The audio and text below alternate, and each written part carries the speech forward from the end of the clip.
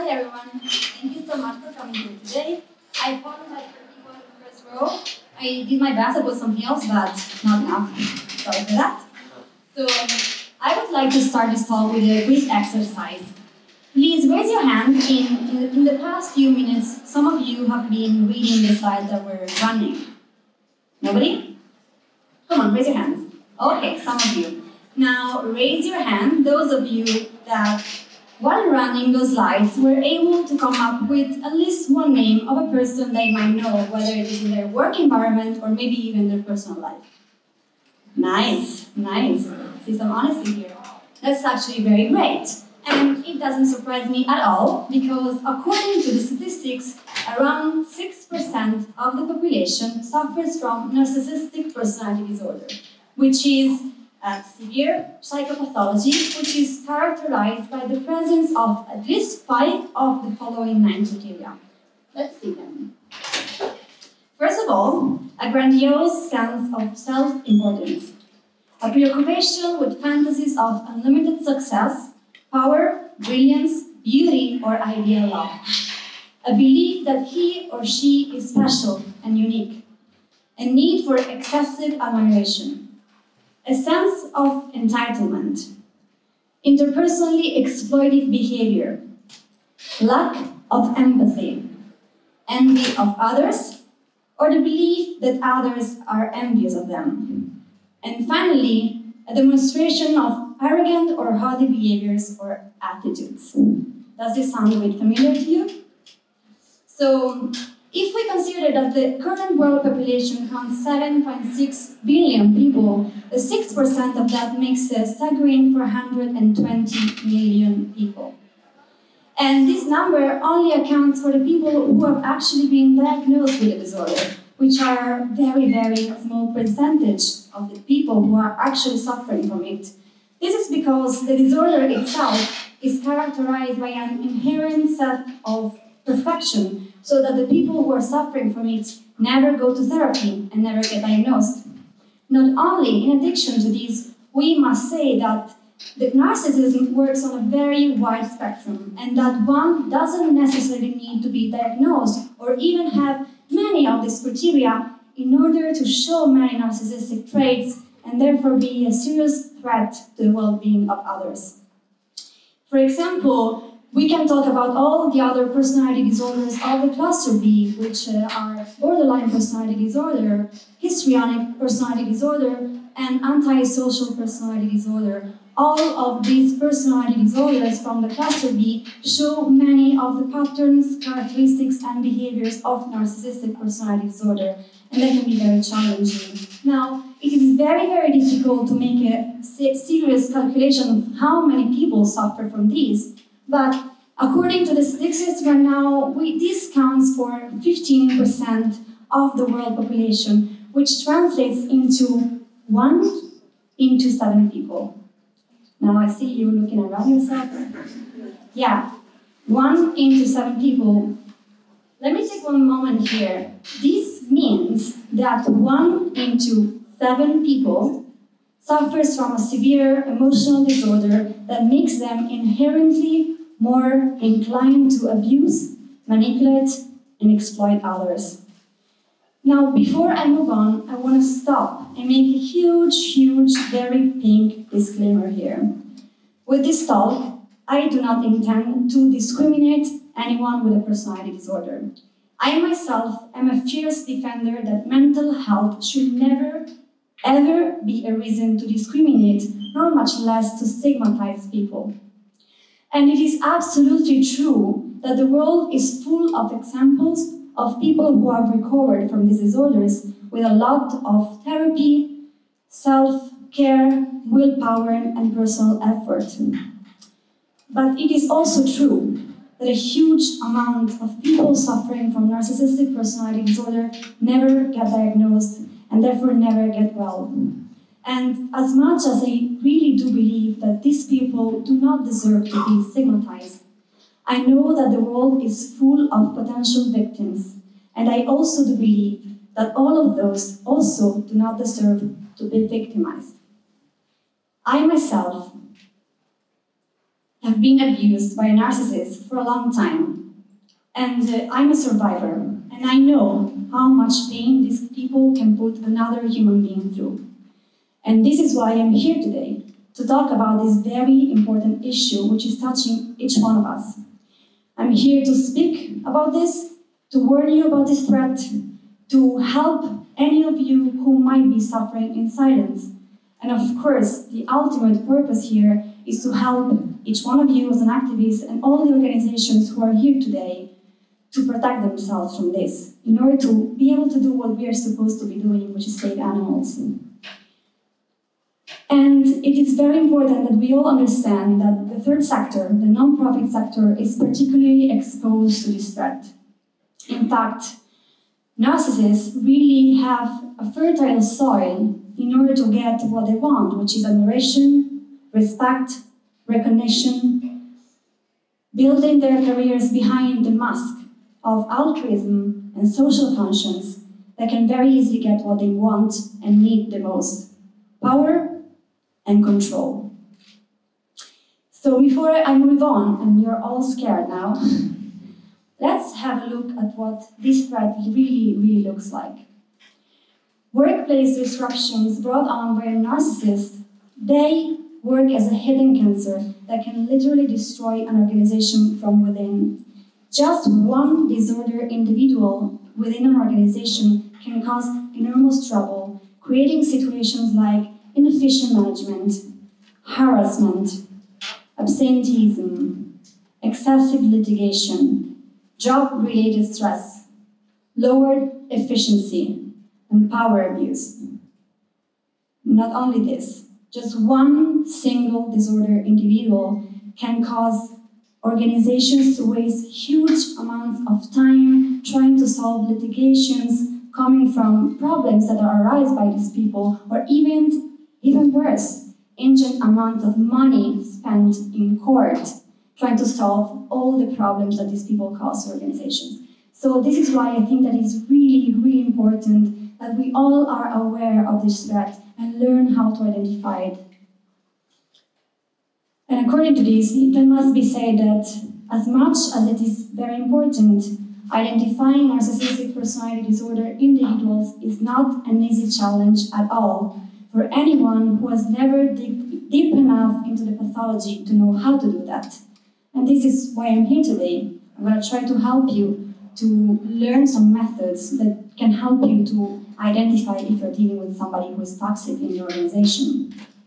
But first and foremost, know that there is one thing that you all have already, which constitutes for you a way that can tell you with almost 100% of certainty if you're dealing with somebody who is disordered. And this is your gut feelings. So now, do you remember the person that you could come up at the very beginning of my talk, that person that shows some of the behaviors that we have been seeing. If you think about that relationship, you might realize that you have indeed had some feelings, some weird feelings about this person from the very beginning of the relationship. But you were never really aware of this until the moment you find yourself completely upset and angry and also feeling physically sick about this relationship.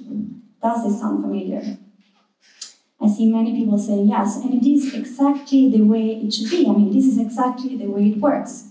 When we are dealing with somebody on the spectrum of narcissism, this is exactly the, the way it goes. We start having these feelings about the relationship, and they get worse over a period of time, and specifically across four different stages. So now I'm going to show you all the stages, and I'm going to tell you the feelings that accompany these stages so that you can understand if you're dealing with somebody who is on the spectrum. The first phase is the phase of attraction. This phase says it all. This phase is meant for the narcissist to make you like them, and they will do they will do whatever it takes to obtain this. They will really go to great lengths because their intention right now is to lower your defenses so that you gain their, uh, they gain your trust. And in order to obtain this, they will use a variety of psychological techniques. The most common are they flatter you, which means they praise you a lot. They tell you how amazing you are, how incredible you are, how happy they are that you're on the team. Wow, you're so intelligent, you're so smart. I admire you so much. They give you a lot of attention. They really definitely say a lot of time speaking to you. They show you a lot of friendship. They try to gain complicity with you. And as a result of all of this, you feel absolutely amazing. This is like ecstasy. You feel perfect. Every time you are around this person, you feel absolutely self-confident. You're so happy in your job. You feel like you can do everyone, everything you want. This is the mechanism. But then we very fastly go to stage number two, which is the stage of discomfort. In this stage, you can start seeing some of the very first red flags of this relationship. Of course, you see that uh, the person is slowly giving you less and less attention. The same person that at some point will listen to you talk for hours now is just maybe interrupting you or something where is going on. You cannot really get a grip on it.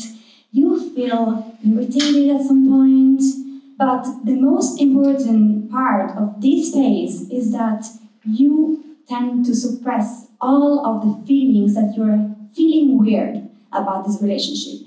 So you, you know that something wrong, but you have the tendency to say, it's just me. It's just me, and there must be something wrong about me. This is because they have been so good in the first phase that they have been able to convince you that they are that charming and lovely person you met in the first place. And according to, because of that work that they did, you are now very not likely to give in to the idea that they might not be the person. And then we go to the third stage, which is the stage of frustration. In this stage is where all your feelings about this relationship and about this person get into sharper focus you can no longer deny the uncomfort and unpleasant feelings about this relationship. And you feel yourself way more uneasy all the time. The situation is really getting worse. You start feeling a lot of self doubt and a lot of self criticism starts in your mind. And one very important aspect of this phase is that you really would like to go back to the first phase and you do really work hard to go back to the first phase. So you work in a way that you all you want is to just feel great again with this person about your job and what, about you, what you're doing. But you shortly understand that no matter how much effort you put in this, no matter how much you try, it just doesn't work. So you are extremely confused because you think, I must have done something really bad if this person that used to like me so much now is insulting me, belittling me, and so on. So the main key aspect of this phase is that you experience a huge erosion of self-confidence. Then there is the fourth stage, which is the stage of attack or avoidance. And it is called like this because you can go either one or the other direction, most likely depending on your personality type. In this stage is where you feel the most unpleasant feelings. You literally cannot stand this person anymore. You find yourself obsessing about this person, of course, in a negative way. And these feelings, they never let you. So you don't only feel uncomfortable when you are around this person, but also when you go home, you're supposed to be in your free time, and you're st still thinking about this job and this thing and this person, and all you can do is think about this. You might also start having some physical ailments. Normally, it's a headache or uh, an upset stomach that you cannot complain. There are also many studies who show that, for example, a weird back pain that appears from one day to the other might be an indicator that you are dealing with a narcissist. And the key aspect of this phase is that you start having fantasies. Fantasies about getting rid of this person and you can fantasize about the person to be either moved off department, to leave the organization, or maybe even to get fired. But even worse, you might find yourself starting to fantasize about you leaving your job. Maybe you've been in this movement for a while and you love what you do, but you're so upset and you cannot take it anymore to the point that you're really open to the idea of leaving Now, we have seen how these stages work, and uh, it is important to know that the period of time that one stage can last it's very dependent on the kind of relationship that you have with this person. If this person is somebody you have need to have contact with every day at the office, it, be, it might be faster. Otherwise, it can take a bit longer. So there isn't really a rule. Just pay, pay attention. The most important thing here is to understand that all of these phases they do not happen on a linear progression, but they are cyclical. So in this diagram, I have done my very best to draw for you the way it more or less works. So in the outer part of the circle, in pink, you see the three phases that constitute every single narcissistic relationship ever, whether it is a romantic relationship, friendship, a relationship with a parent or a family member, or a work relationship. These three phases are the idealization, the devaluation, and the discard. And in the inner, the inner circle, the gray one, you see how the phases that I have been talking to you about fall under these three areas. So you will see that the idealization phase and the attraction phase almost are the same. Then between the devaluation and the discard, we will have stage second and stage third. And here is where the tension in the relationship is building up until the moment the discard happens. And here is, here is normally maybe, for example, a big fight with your colleague or your boss, something that really goes away out of control and uh, makes it very difficult to interact with this person for even a period of time, maybe. But the most important thing to know is that after this discard will come another idealization phase, which means that the person will come to you and apologize. I'm so sorry for what I did. I feel ashamed for what I did. I promise you this will never happen again. I appreciate you so much. And of course, you feel amazing again because wow, this person must be honest. And they had this very genuine face in their yeah, eyes in their face, so I must believe them and feel great again. And the cycle of abuse is repeated. Now, in romantic relationship, it has been studied that this cycle can go over on average seven times. In working relationship, it's very, very much dependent on the kind of working relationship that you have with the person, but in general, it is very important you are mindful of the fact that this is cyclical, and unless the person is genuinely interested in doing something to change their behavior, the cycle will happen again.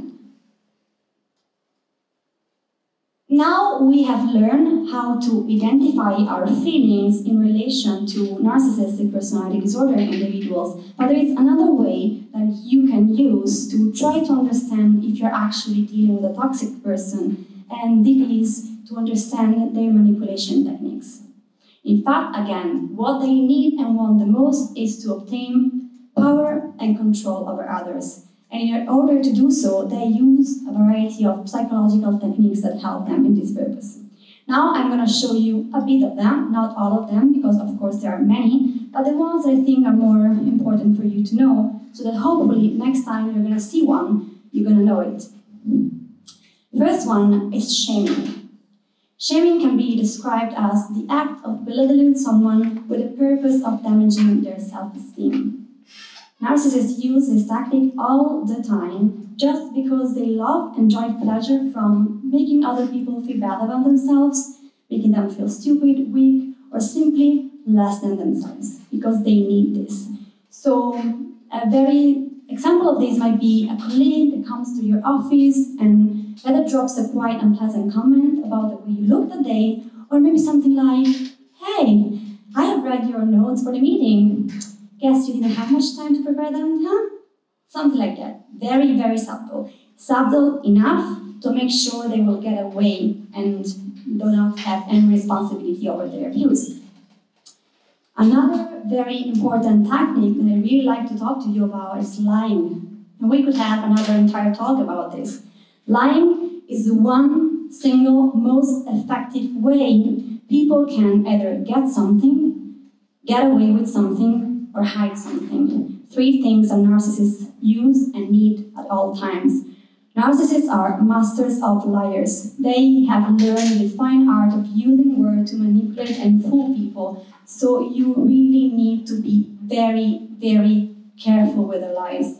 They can lie readily, easily, and about anything, even the most important thing. This is why, well, some say narcissists have no conscience.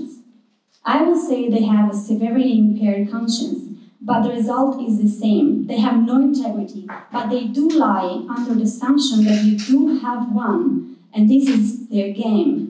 Because they expect you to never be able to really understand that they're lying about something so important, right? This is their game, so be careful. An example of this might be imagine you have been working within an organization for a while and you have been asking for a raise for a few times, right?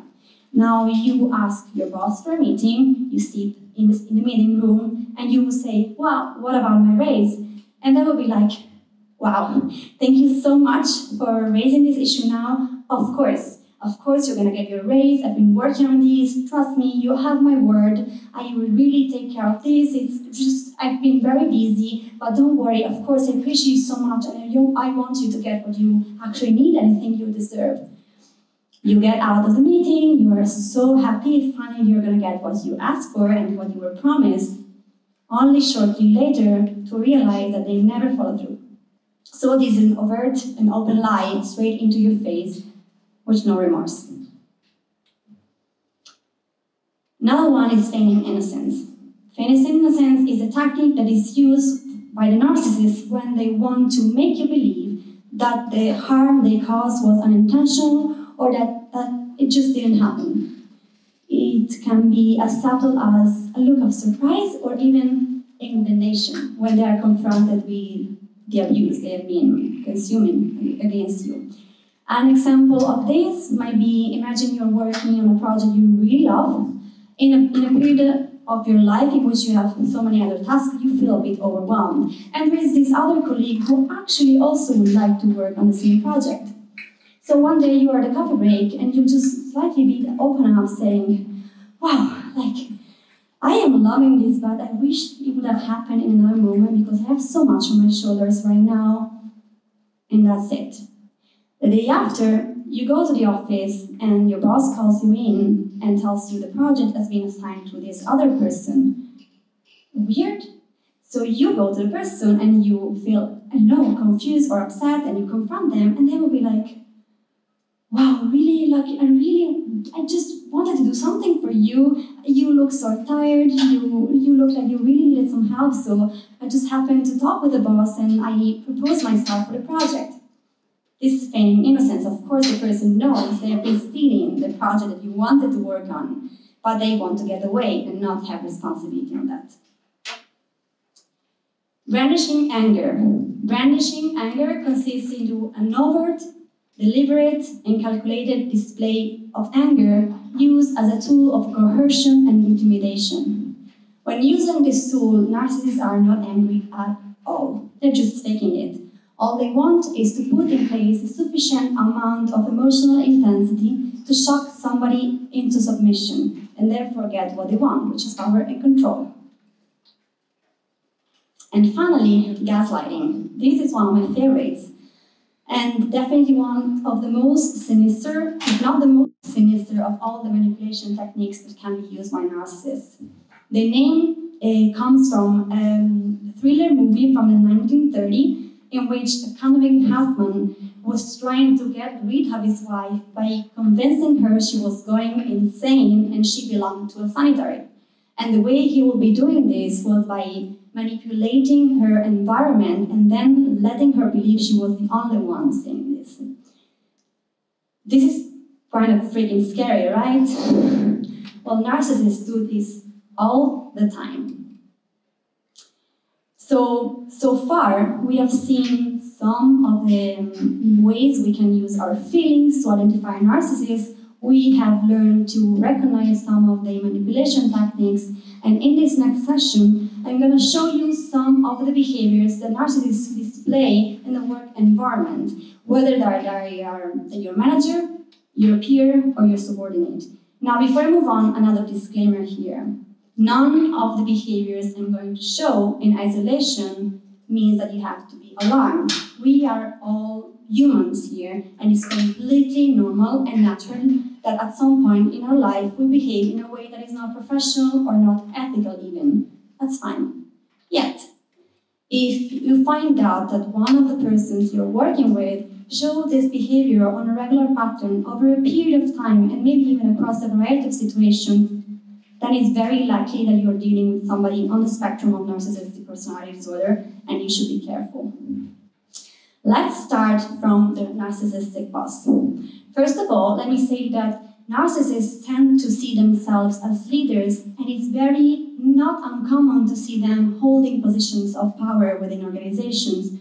I don't need to say this. The world is full of examples of people who are narcissists holding positions of power. Let's see, for example, in politics, right?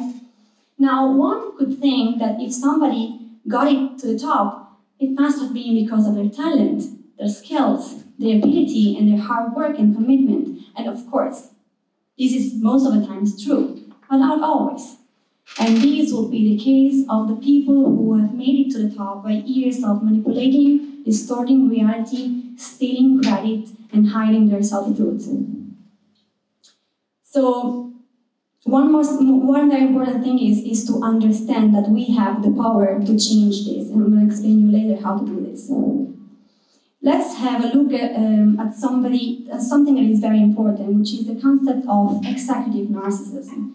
The concept uh, means that one person might get an inflated sense of self-confidence and self-entitlement that arises as a result of raising higher within a hierarchy in an organizational setting and therefore having less supervision. And as we will see later, this is extremely dangerous in an organization.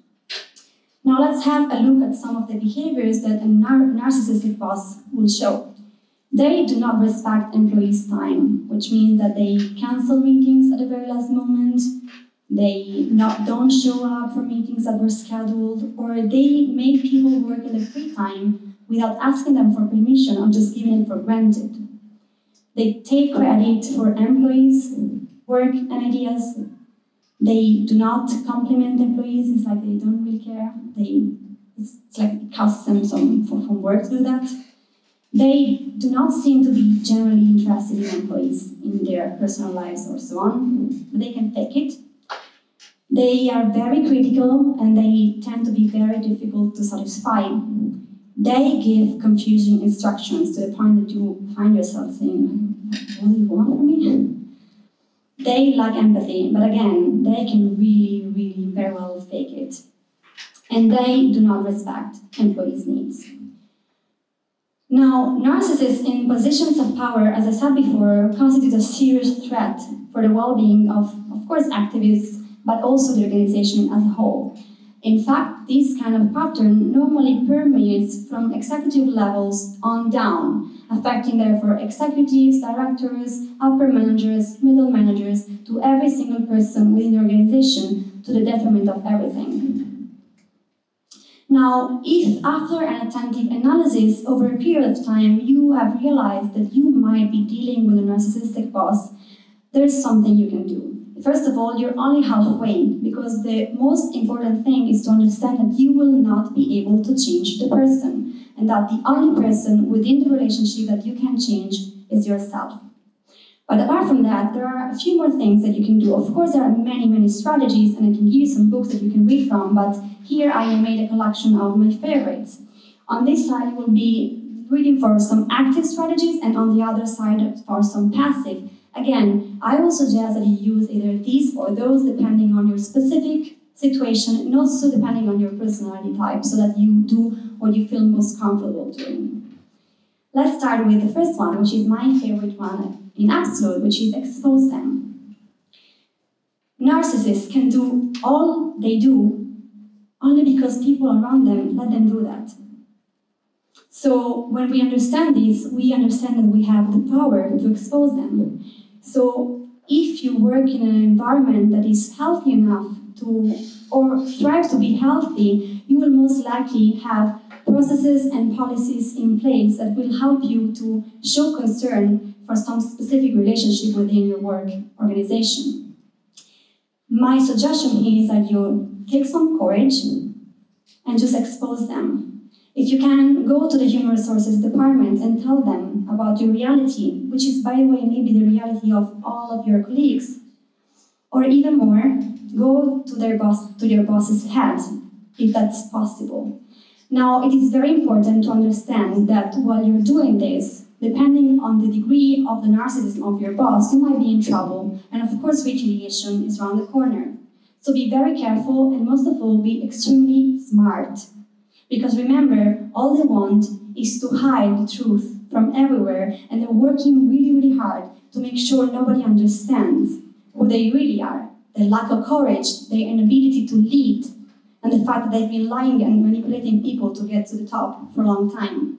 So most likely, your boss has been manipulated I mean, their boss's boss has been manipulated for a long time as well. This is why it is extremely important that as much as you can, you collect proofs of the abusive behaviors.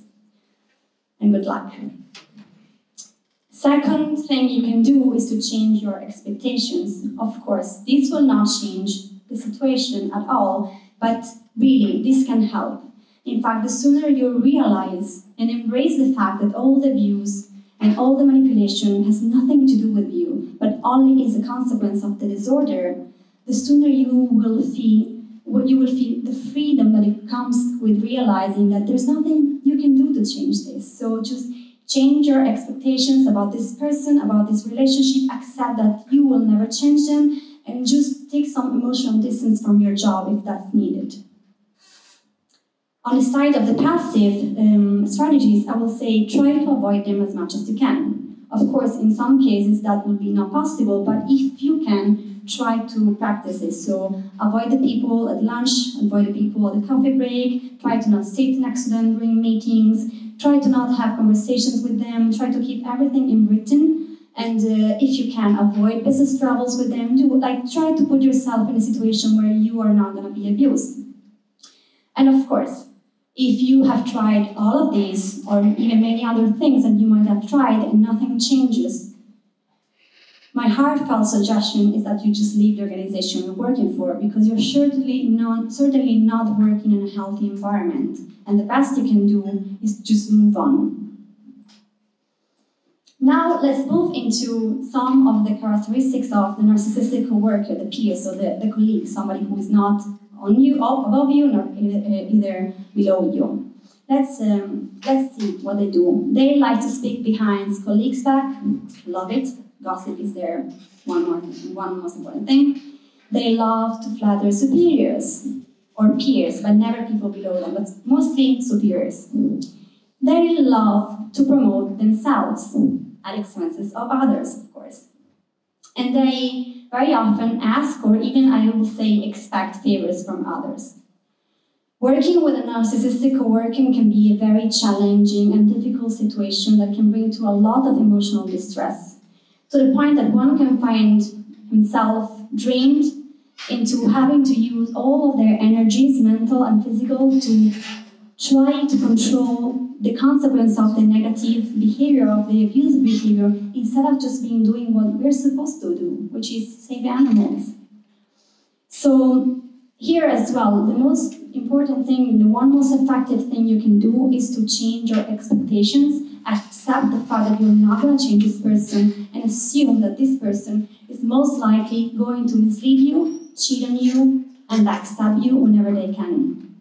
So the golden rule here would be do not trust them. Besides that, there are some things you can also do. For example, you can set healthy boundaries, both physical and emotional. As for physical, I mean lock all your stuff. Make sure your colleague doesn't have access to your documents as much as possible. Change your password and try to, yeah, just keep your stuff together. Also, your, the projects you're working on, let them know the minimum, the bare minimum they need. And as for emotional boundaries, I mean, keep your things for yourself. Do not open up about your personal life, your, your doubts, your insecurities, just because they're going to use them against you sometime. So do that. And as for the passive strategies, I will suggest this is, I think, the most effective and most easy uh, strategy to use, which is withdraw attention. Narcissists, they live and need attention like, know, like, like breathing, like air. So the moment they will understand that you are not a reliable source of that, they will most likely let you alone. An example of this would be like imagine their narcissist colleague comes to you and tells you, wow, you know, I got a raise. They all, all they want is for you to have a strong reaction to that or whatever, and you'll be like, that's great. They will hate it. And the more you practice this, the more you will see that the person will just slowly lose interest in you. So the idea is that you try to not give them any emotion because all they want is drama, chaos. You don't give them, and they leave. Now let's have a, look at the narcissistic subordinate, because one might think that having a narcissistic boss must be the most awful thing that can happen to you in the workplace. In certain ways, yes, but never underestimate the negative consequences of having somebody on the narcissistic spectrum below you. Let's have a look at the, uh, some of the typical behavior of these people. They try to be seen with you very often. They often try to do favors to you, try to be nice to you, if you're the boss, of course. They try to get you flutter or to approve them. They inflate tasks and they inflate accomplishments. They flatter you and they flatter others in higher stages. They need to be blameless to you. They can't stand the fact that you can find them faulty of something. They very easily tend to demand special treatment. And overall, what they do is just they suck your energy. You will notice that you will spend a lot of time dealing with this person and trying to solve their conflicts. They do all this. One important thing is to understand that uh, identifying a narcissistic subordinate is not easy because they tend to make great first impressions and they, to, and they tend to put, your, put themselves in your mind as great in the first place. So be very careful with that. Now, in this case, I've decided to put strategies in this, in this way for middle managers and for upper managers. So if you are a middle manager and you think you might be dealing with a narcissistic subordinate, there are things you can do. The first one I will suggest is to report it to your manager. Of course, in a very professional way. There's nothing you have to add but just let them know. Just because remember that this person is going to try to backstab you at some point. So it's better if your manager is aware of the situation. In that case, both of you can work together and make it work, find solutions to try to limit the, the, the problem.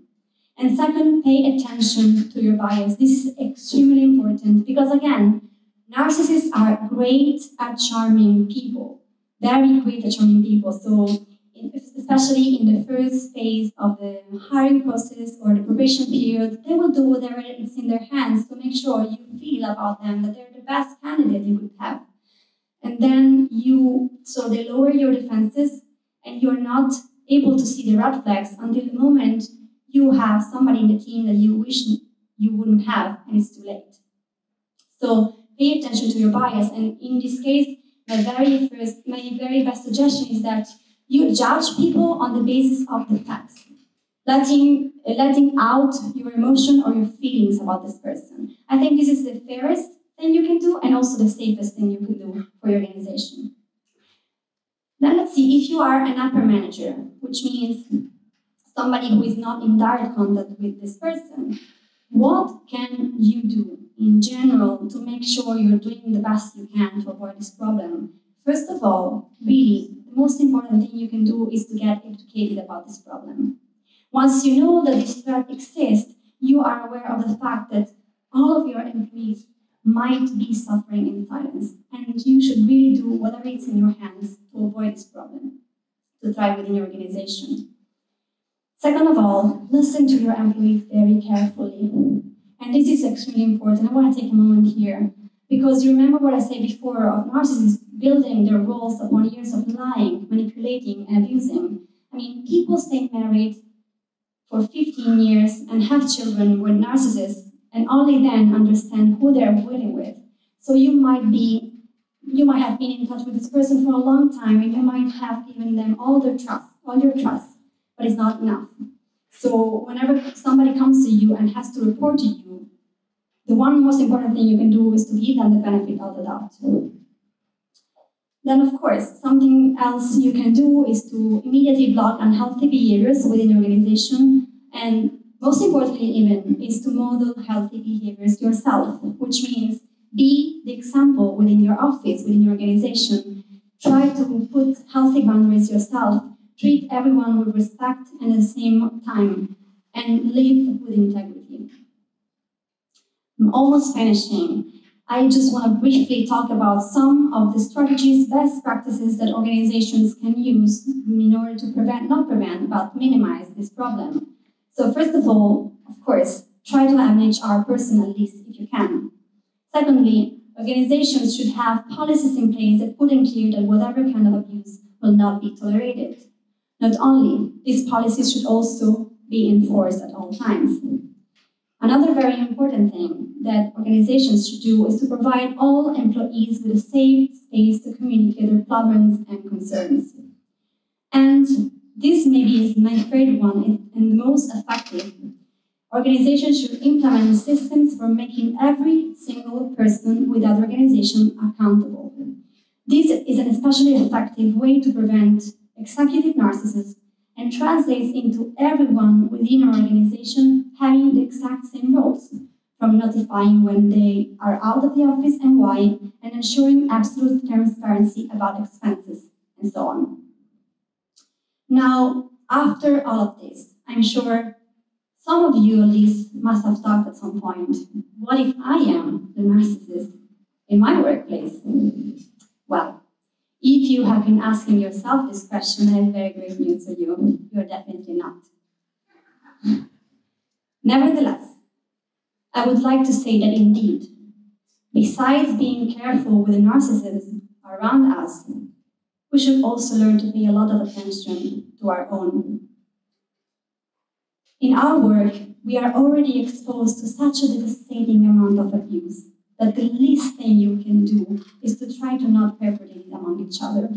So I encourage you to make a daily, constant, and honest exercise of humility and kindness. I encourage you all to look at the ones who are on top of you as people who have more experience and to be willing to learn from them with modesty and consideration. I want to encourage you all to look at your peers as people who are doing the very best they can in their position and to try to be as supportive as you can. And I encourage you all to look at the ones below you with respect, with integrity, always remembering that being in a higher position doesn't mean that you have more power, but more responsibility. And finally, I want to encourage you all to stay grounded and to never forget what we're here for. The tens of billions of animals are being raised and killed every year, and that we are their only hope. That they're there, suffering in silence, and that we have no time to be wasted. So, whatever our title is, the prestige of the organization we're working for, the position we're in. Not of all matters. Not even all of the accomplishments you have achieved during your life within this movement. Because this movement is not and will never be about us. Thank you.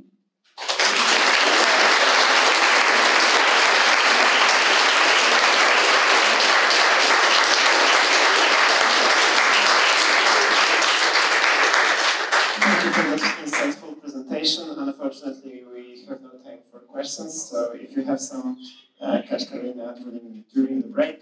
And... Thank you for listening. Thank you for being here. Thank you.